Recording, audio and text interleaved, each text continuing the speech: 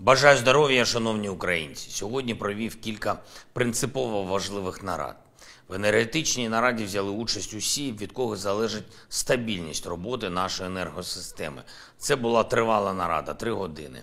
Енергетичні компанії, Нафтогаз, Енергоатом, Укренерго, Укргідроенерго і інші. Уряд, офіс, голова профільного комітету ВР, військові, розвідка. Цю зиму пройдено.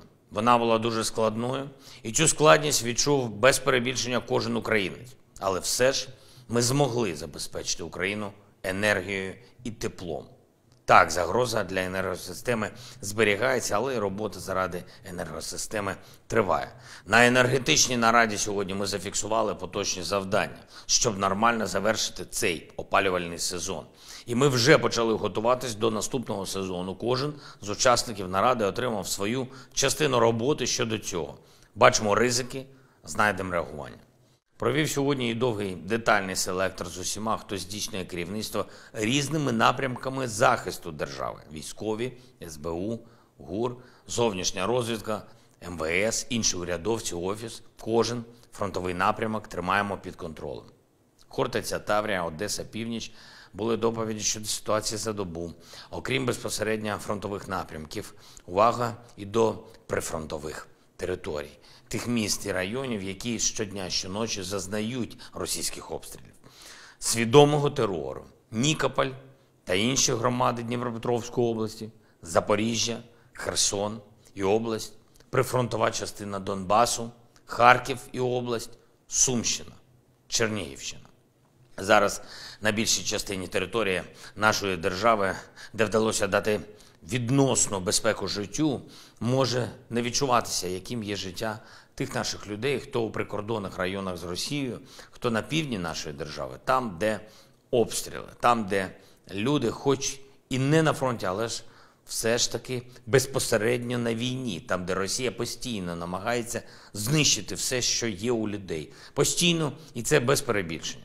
Коли ми готуємо активні дії наших військових, усіх наших сил оборони і безпеки, ми маємо на увазі і те, що такі активні дії поступово повертатимуть безпеку тим, хто зараз у прифронтовій зоні. Кожен рух нашого прапора вперед означатиме і убезпечення наших людей і на тих територіях, що будуть звільнятися від окупанта, і на тих територіях, що ставатимуть глибшим тилом, і на тих територіях прикордоння, яким поразка окупанта принесе нарешті спокій.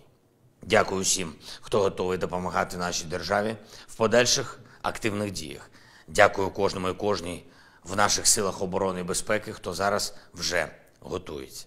І я дякую тим, хто, попри всі загрози, попри всі небезпеки, робить усе можливе, щоб у прифронтових районах України, у містах і громадах, які зазнають російських ударів, все ж зберігалося нормальне життя.